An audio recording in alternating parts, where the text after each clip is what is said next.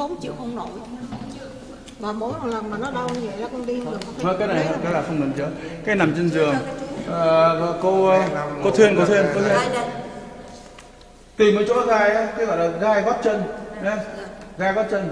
Tức là trong máu nhiều chất vôi quá nên gọi là huyết hóa vôi. Áp huyết bao nhiêu? Con đã biết là hôm nay thì cao một lần thì con tập như vậy đi hỏi bao nhiêu trả lời không hôm ờ, hôm nay á, thì 161 đấy tại vì thay vì áp huyết đã xuống rồi mà vì vào uống thuốc canxi nó mới lên cao. Đó điều thứ nhất điều thứ hai uống canxi nó làm đặc máu thì cái máu nó khô lại. Đặc máu là gì? Giả sử như mình bị cái búa nó rớt vào cái cái cái cái, cái đầu con cá đầu đầu ngón chân thì thế là bắt đầu nó khô máu ra. Khi mình cắt cái móng nó ra thì nó rớt cái những cục máu nó cục máu rất là cứng như gai. Thì đây gọi là gai. Cái gai này là do huyết hóa vôi là vì nó quá nhiều vôi nó đập nó không đi được Vậy thì nếu con chữa cái này rồi mà vẫn uống nữa là tiêu.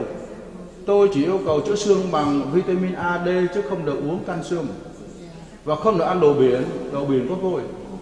Thấy không? Chứ còn chữa cái này không ăn thua thì bây giờ này đây là chữa ngọn thôi. Lấy cái kim tiểu đường châm một cái chỗ đau, nặn máu ra, thế là hết bệnh là cái đó phải chữa. trong ngay chỗ đâu Trong chỗ đâu? cái xương sống sau lưng Xương cũng là tại nhiều chất vôi quá thì cũng nằm như hồi nãy vuốt cột sống rồi lắc lắc lắc lắc lắc, lắc cái chân đó. Để, để.